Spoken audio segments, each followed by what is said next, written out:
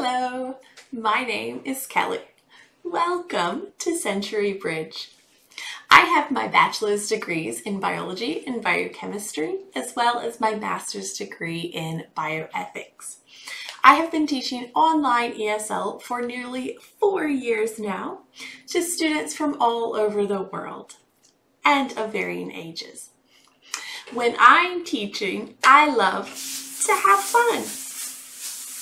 I will always bring lots of energy and enthusiasm to my classes. Thank you so much, and I look forward to seeing you in my classroom very soon. Goodbye.